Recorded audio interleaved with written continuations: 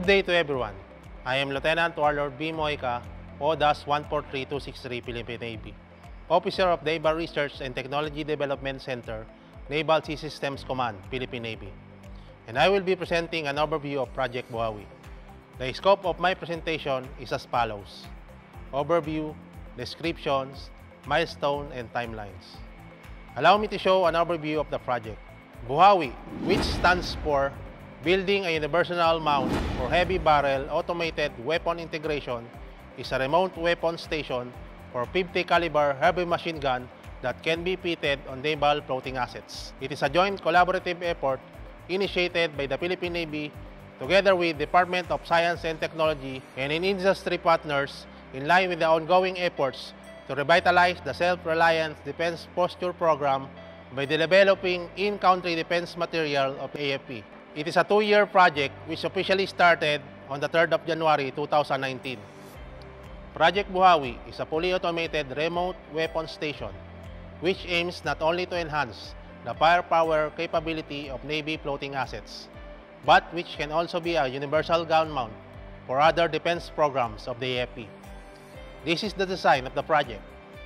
Being automated, it can be remotely controlled from the deck, minimizing the risk of personnel during the conduct of operation. The project management team is composed of the DOST MIRDC as the implementing agency and PN NSSC and MIRSP ICC as both cooperating agency. It is a joint undertaking between the industry and private sector. DOST MIRDC is responsible for the design of the mechanical system while MRSP ICC and PN NSSC is responsible for the control system including peripherals, motors, military-grade cameras, and other requirements. It is a two-year project development where the first year of implementation was funded by the OST, which covers mostly the design and development, while the second year is funded by DNDPN, which includes mostly the functionality, reliability, durability testing, and live test firing. Currently, the project is already in its year 2 implementation. Since its commencement, it has accomplished significant development.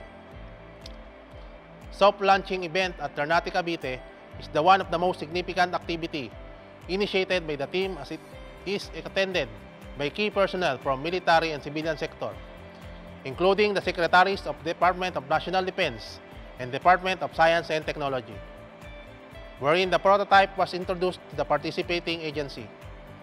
On 14 to 16 July 2021, the first testing was conducted to evaluate the recent capability development of the project at Armor Division, Philippine Army, Camp O'Donnell, Capas Tarlac. This is the initial testing among succeeding testing activities set for the project.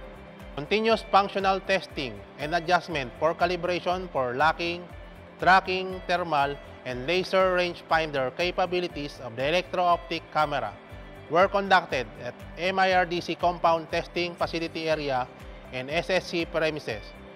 This is to ensure the performance and to evaluate the compliance of the system with the desired functional requirements of the project. Here are the timelines of the succeeding activities of the project.